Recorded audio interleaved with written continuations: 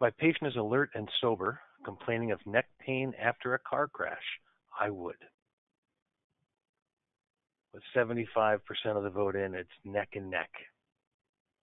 There are a couple of questions in here which will sometimes test and occasionally challenge what you've been taught. Uh, this appears uh, that it's going to be uh, one of those questions. All right, I'm going to close the poll. And I'm going to put the results up. If my patient is alert and sober, complaining of neck pain after a car crash, I would. The correct answer, chosen by only 42% of the people, is put him in a collar and put the patient on the stretcher for transport. The concept there is called spinal motion restriction. A collar and a backboard uh, is not the treatment that's used anymore, and it's not what the National Registry is looking for. Really, for the past several years, physicians groups have come out uh, and said that uh, backboards don't really seem to make a difference, and they cause a lot more pain. So the concept of someone who has an injured spine, they don't generally want to move around a lot, anyways.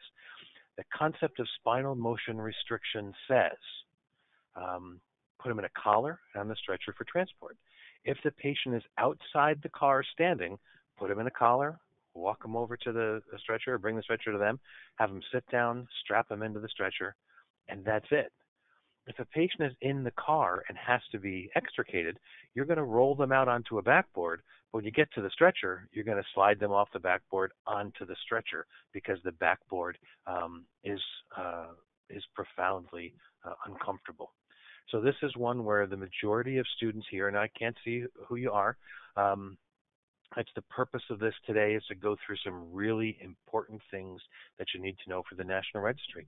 And, and quite frankly, I know a lot of you were told to put people on a backboard.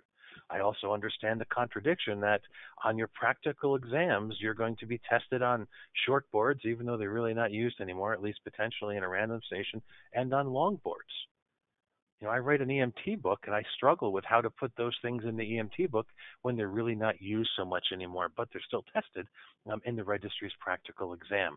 The point of this spinal motion restriction is different than spinal immobilization. All right?